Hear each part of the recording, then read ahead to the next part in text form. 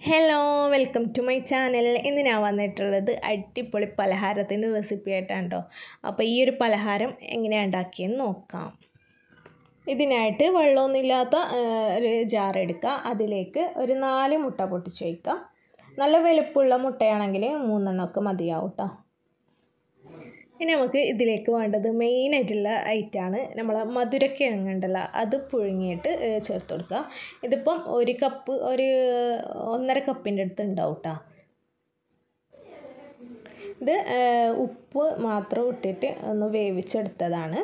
അത് ചൂടൊക്കെ ആറിയ ശേഷം നമുക്ക് ഈ മിക്സിയുടെ ജാറിലേക്ക് ഇട്ട് കൊടുക്കാം. പിന്നെ ഇതിലേക്ക് വേണ്ടത് പിന്നെ മധുരത്തിനനുസരിച്ച് പഞ്ചസാരയാണ്. ഒരു മൂന്നോ നാലോ ടേബിൾ സ്പൂൺ പഞ്ചസാര ചേർത്ത് കൊടുക്കുക. പഞ്ചസാരന്റെ അളവ് കൂട്ടും കുറക്കൊക്കെ ചെയ്യാം കേട്ടോ. പിന്നെ ഇതിലേക്ക് ഏലക്കപ്പൊടി ഉണ്ടെങ്കിൽ ഒരു അര ടീസ്പൂൺ ഏലക്കപ്പൊടി ചേർത്ത് കൊടുക്കുക. ഇല്ലെങ്കിൽ വാനില എസൻസ് ചേർത്ത് കൊടുക്കുക കേട്ടോ. ആ ഒരു മണം പോയി കിട്ടാൻ വേണ്ടിയാണ്. പിന്നെ ഇതിലേക്ക് ഒരു പിഞ്ച് ഉപ്പും കൂടി ഇട്ട് കൊടുക്കുക. എന്നിട്ട് നന്നായിട്ട് അടിച്ചെടുക്കുക. അപ്പോൾ ഈ ഒരു കട്ടിയിലാണ് നമ്മൾ ബാറ്റർ ഉണ്ടാകുക നിങ്ങൾ മധുരക്കിഴങ്ങ് കുറച്ചെടുക്കുകയാണെങ്കിൽ കുറച്ച് ലൂസായിട്ടുള്ള ബാറ്ററായിട്ട് കിട്ടും.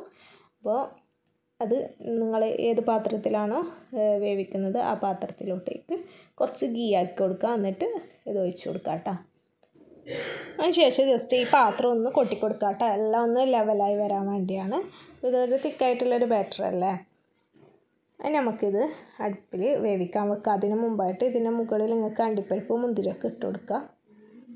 അപ്പോൾ ഇവിടെ കുറച്ച് കറുത്ത മുന്തിരി ഒന്ന് ഇട്ട് കൊടുക്കുന്നുണ്ട്. അതിന് നമുക്ക് ഇത് മീഡിയം ഫ്ലെയിമിലൊന്ന് വേവിച്ചെടുക്കുക. അതിന് മുമ്പായിട്ട് അടിയിൽ ഒരു പഴയൊരു പാൻ കൂടി വെച്ച് കൊടുക്കുക കേട്ടോ.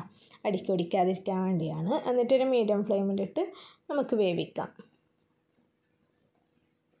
അപ്പോൾ അതായത് ഒന്ന് മുകൾ ഭാഗങ്ങളിലൊന്ന് ആറിയിട്ടാകുമ്പോൾ നമുക്ക് ഇതുപോലെ ഒന്ന് കുത്തി നോക്കാട്ടോ. ഒന്ന് പിടിച്ചില്ലെങ്കിൽ വെന്ത് എന്നാണ് അർത്ഥം.